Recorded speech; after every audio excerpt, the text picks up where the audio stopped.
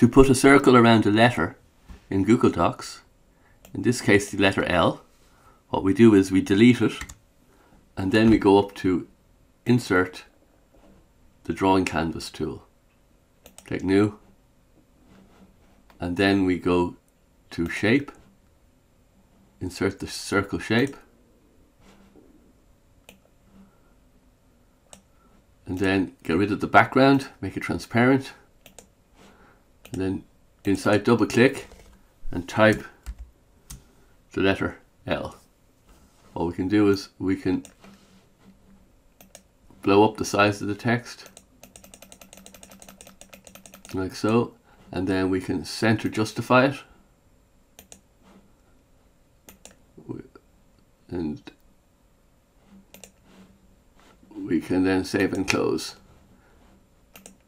and now we can just adjust the position of the graphic which effectively that's what it is now. Uh,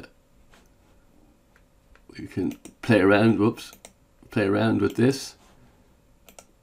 Fixed position on page. We can drag it up. Here we are. And we can double click it to go into it and just adjust the the size of the circle. Make it tighter. Save and close. We can adjust it here.